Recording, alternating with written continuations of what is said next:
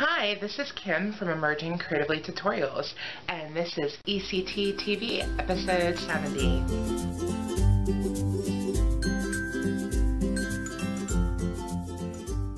So today I am going to show you my latest art journal page and how that inspired a piece of jewelry, which I'm going to show you how to make. So let's get started. So, as you may have seen last week on my blog, I shared this beach-themed art journal page, and I showed you how to make it if you were interested in making that. So I'll have a link below to that post. If you are interested, you can click over and see it. Today I'm going to show you how to make a piece of jewelry that is inspired by this page. Now, when you are considering doing something like this, pulling inspiration from an art journal page in particular, or really anything, there are some different things you can think of to kind of get your brain going on how to actually take the inspiration from this page or from whatever your inspiration is and interpret it into jewelry. So the things I'm thinking about specifically for this page and this jewelry piece are the theme of the page. This is a beach page. I'm at the beach. I, you know, this photo is from Cape May, New Jersey, along the beach, and that's what this whole page is about. You might also want to think about the colors. So in this case, those are the two things I'm thinking most about. The kind of the colors of the beach of this page and the theme specifically of the beach. So I've said beach quite a few times and that's what this is all about. So let me show you what we're going to need to make this piece of jewelry. So when I was originally considering what I would make, I had a whole different idea and then I had this idea that I'm going to show you. Um, but I originally was thinking I wanted to use shell beads and in the kind of some different colors, um, a lot of browns and kind of tans to kind of go with the whole sand feeling. But what ended up happening is I actually found this necklace at a thrift store and it's very beachy and I kind of thought that these beads might be shells but they're actually wooden but I think they'll work just the same. So I'm going to actually take this necklace apart and use the beads, and that's something, if you've been following me for any amount of time, I do all the time. I like to go to thrift stores, find jewelry inexpensively, and take it apart to make something new. So you just look for the components that you happen to like, and it doesn't matter what the piece of jewelry looks like because you're going to take it apart. So as long as you can take it apart, and as long as it has beads or chain or charms, whatever it is you like about it, that you can take apart to make something new, going to the thrift store to, for jewelry, jewelry supplies is a great idea.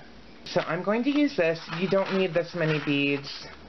Um, we're going to be making a pendant, and uh, of course I'm going to show you how to do that. So um, you're going to need some beads, you don't necessarily need to do a beach theme. This will work for any beads whatsoever that you want to use. So um, you can use whatever beads you want. And then you're also going to need 20 gauge half hard round wire. I am using non-tarnish silver plated wire. You can use any metal that you like. You'll need wire cutters, round nose pliers and chain nose pliers and you might need some bent nose pliers just to help with the wrapping. They're not necessarily super important, but they're nice to have on hand if you have them. You also need something cylindrical to wrap the wire around because we're going to be making a hoop pendant. So you can make this any size that you like. I have this candle that is about the size that I want to use. Don't be confused by the kind of Christmas look to it because I actually burn this all the time. It is a beautiful peppermint scent that I like all the time. So I really do burn it anytime. Not that you need to know that, but you can use anything that is kind of round and the size you want it to be. So this will make a pretty big pendant. This is, you know, close to two inches, not quite. So if you want to make it a large one like that, you can. If you want to make a smaller one, you might want to use your ring mandrel, kind of one of the bigger sizes, or something like that. It all depends on the size you want to make. So just look around your house, see what you have. Um, you might be able to use a lid of like hair gel or something like that, or a can from your kitchen. Um, some of the cans will probably be bigger than you want it to be, but sometimes you can get, you do have little cans of things. Um, just kind of look around your house and see what you can find. And like I said, if you want to make a smaller pendant, then you could just use your ring mandrel kind of toward the larger size, and that would work great too. Okay, so the first thing we're going to do is measure our wire around our cylindrical item and form a hoop.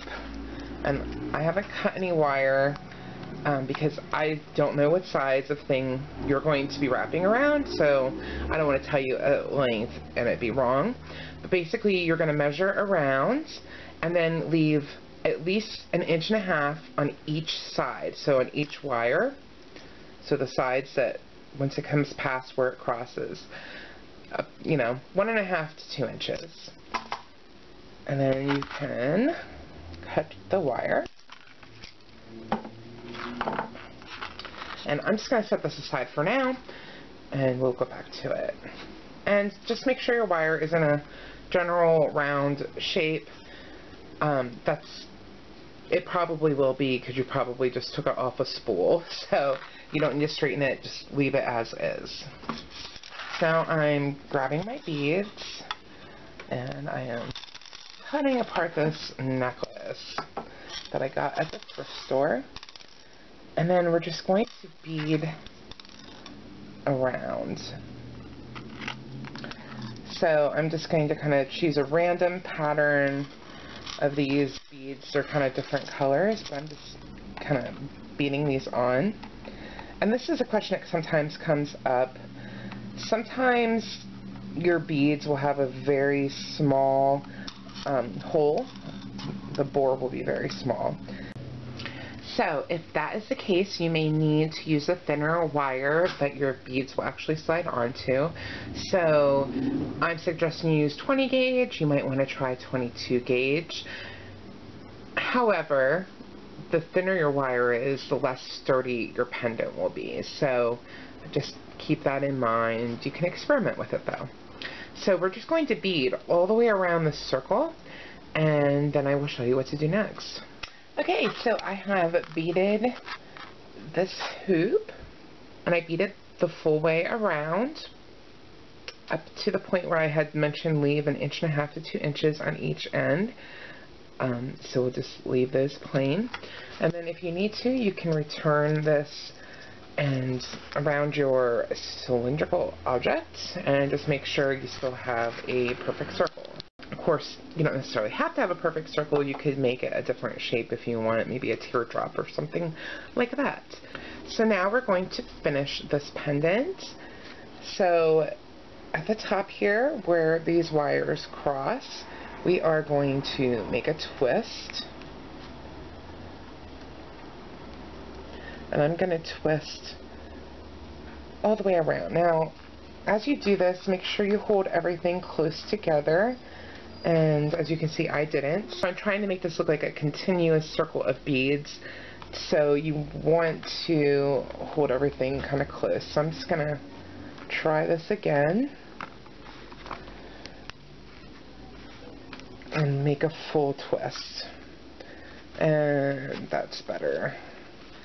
Alright, and if you get this out of shape at any time, you can just kind of put it back and bend it against your circle object. Okay, so now we're going to make a loop at the top.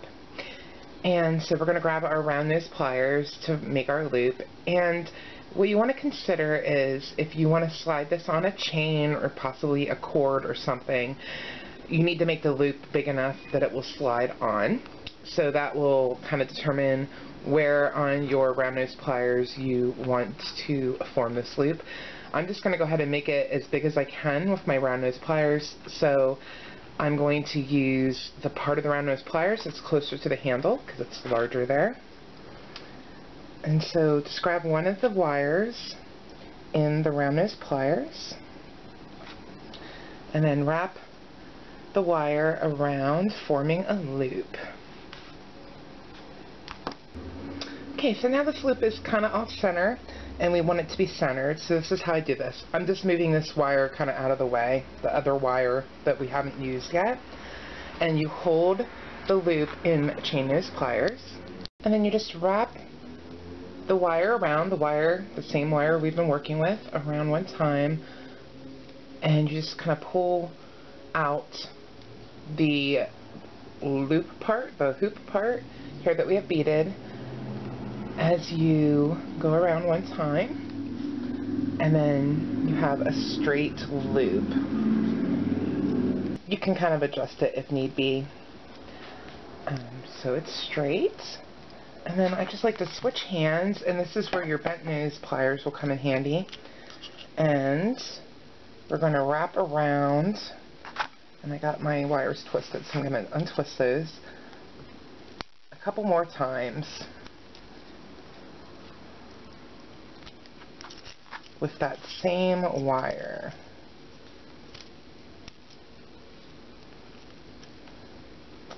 Okay, and then we have this other wire. So we're going to wrap around a couple times with that wire as well. And you can just kind of go the way that the wire is already naturally wanting to go. So sometimes that's the opposite of the other wire, and sometimes it's kind of the same.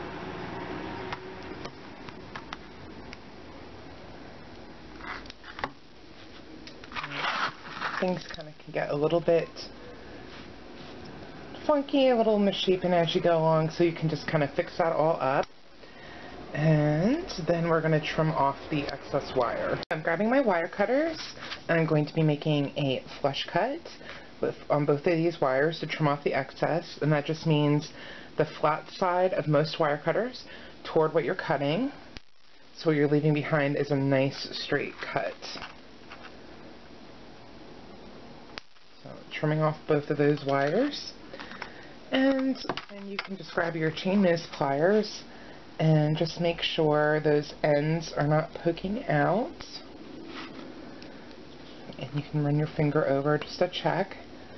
And then actually, you're, if you're going to be putting the um, a cord or a chain through, you want the loop to be going this way. So you can just kind of twist it so it is and then just make sure this is all in the shape you want. And that is the pendant.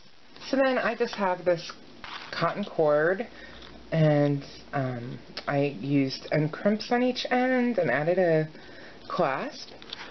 And I'm just going to slide that through. You could do this with a chain if you want. And then that is the necklace other ideas you could do, you could make hoop earrings. So you would just add earring wires. You'd make two that matched and then add earring wires to the top. You of course can make this smaller or larger. You could attach things that dangle down. If you wanted to make a beaded necklace to put this on, you would just slide this onto your beading wire and then bead out the rest of it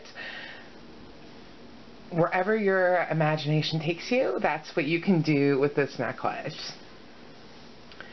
So, for those of you who are new to wire wrapping, I have exciting news. I have a free intro to wire wrapping e-course and you get it by signing up for my newsletter and the link will be below this video for you to do that. If you want a PDF with step-by-step -step photos of this tutorial, you also get that from signing up for my newsletter.